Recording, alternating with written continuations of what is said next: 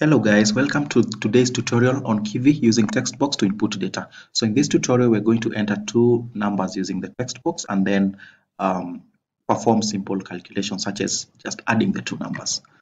So to begin with, we are going to start from uh, from Kivy dot app import app. Then uh, we can go straight and uh, create our class let's call it my app. And we inherit from the app class. Then we can declare uh, this method the, the build method. Okay now since we need text box so we will import. So from kivy.uix dot text input text input import import text input. And since we will also need a button we can just do that right away. So this will be button and button. And here we can now um, go ahead and say num1 so the variable for num1 self dot num1 equals to text text input and then uh, text equals to enter the first number. Okay then you can copy that and you edit it to for variable 2 second number you can copy the same and edit it for the button. So the variable for the button let's call it submit. And we can give it the text of submit.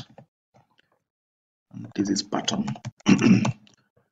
Then on press event on press. So when users press the button what should happen? Load for, for us the method self.submit so we shall create the submit method self.submit. So I prefer to use a layout. So we can also import grid layout here to arrange these um, widgets. So dot grid layout. And then we can call this layout.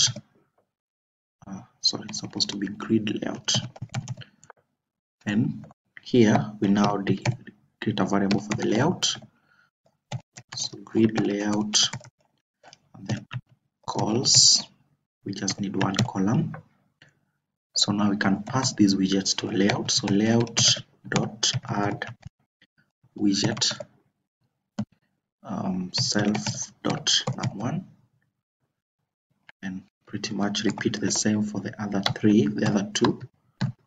So this will be self dot num2 this will be submit because the variable is submit.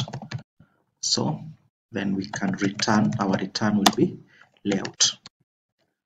And now we can create the function the method submit. So def submit self and object. Then we can say n1 so create a variable n1 equals to can get this. So the value that will be passed by the text box. Uh, we need to need to do typecasting typecasting so that it is an integer. Remember the values from a text box are usually in text format. So let's do the same for the second number. So this is n2 and this is num2 and then we can introduce another variable called total which will be n1 plus n2 then after that we can now print and say uh, the sum the two numbers numbers is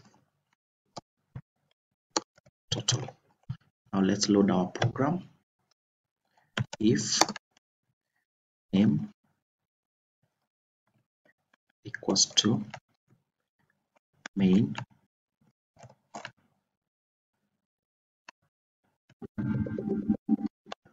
then our name of the app is my app dot run see how this works. Success. So let's see if it's going to add the two numbers. And we expect 15 to be printed. Here you can see here the uh, sum of the two numbers is 15 thank you very much